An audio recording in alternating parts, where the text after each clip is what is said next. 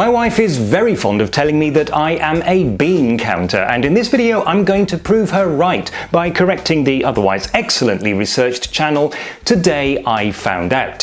Specifically, I'm going to be talking about the one in which host Simon Whistler talks about the iconic German spiked helmet. The first issue I have with it is his pronunciation of the German word for the helmet, which he utters at least 30 times, each time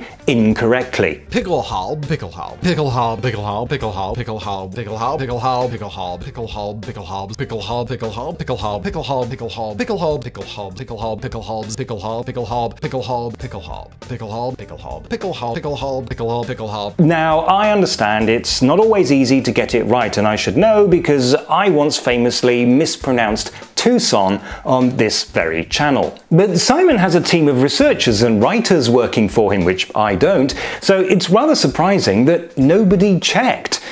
It's pronounced Pickelhaube with four, that's four syllables. Pickelhaube. But it's not just the pronunciation that activated my bean counting powers. In fact, it was something that Mr. Whistler didn't say that caught my attention, which is that Pickelhaube was never the official term for this piece of headgear. It seems that Pickelhaube was just a colloquial word for it. Officially, it was usually just called Helm mit Spitze, helmet with spike. Much more descriptive, so where does Pickelhaube come from? The team at Today I Found Out didn't do a lot of research on this point because they had Simon explain to us that the term derives from the words for pickaxe and bonnet except that that's just not true. I mean, yes, if you take a modern dictionary, those are the translations that you'll find, but that's not the derivation of the word. In the Middle Ages, Haube meant a piece of headgear that completely surrounded the head, and in the dictionary compiled by the famous Brothers Grimm, just a few years before the spiked helmet as we know it was officially introduced to Germany, the word Pickelhaube was traced back to Beckenhaube. Becken has many different meanings, but in this case it means bowl. So Beckenhaube was a bowl-shaped helmet that covered and protected the entire head. Over time, as these things often do, the pronunciation changed and the meaning also shifted. The N evolved into an L and eventually we got the modern Pickelhaube. That was the word whether or not it had a spike, and the Grimms explained that in their day, Pickelhaube meant a leather military helmet. They did say that it was sometimes taken to mean a spiked helmet, apparently by association with a pickaxe, but they also said that this idea is quite simply wrong.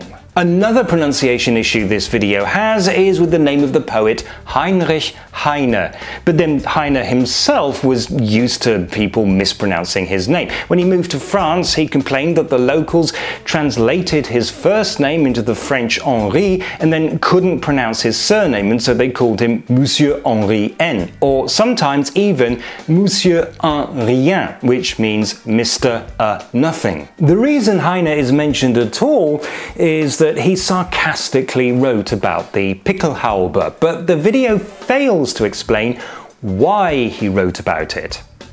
Actually, no, that's a bit harsh. It's not a failing of the video because it's actually completely irrelevant to the main point. But allow me to fill you in anyway. Heine was born a Jew, but this meant that it would be difficult for him to pursue his chosen career in law.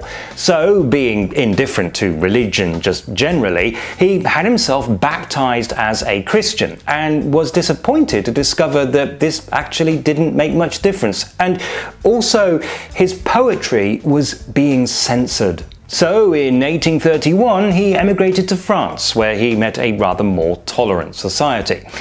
Later, in the winter of 1843 to 44, he went to Germany for a few weeks to visit his family, and he kept a journal which eventually developed into a, a long piece of satire in the form of a kind of humorous travelogue in rhyme. It was in Aachen that he encountered Prussian soldiers, and in his poem he mocked the way they walked, their moustaches, and of course their helmets. He made fun of lots of other things as well, and towards the end of his poem compared the future of Germany to a stinking chamber pot. Unsurprisingly, his book was banned in Prussia, and a few decades later, a certain political movement branded Heinrich Heine a traitor to the fatherland. Nowadays, of course, he's regarded as one of the most important and influential German writers. And of course, we'll never forget how he thought that the famed Prussian spiked helmet, the pride of the Prussian army, looked more like a lightning conductor.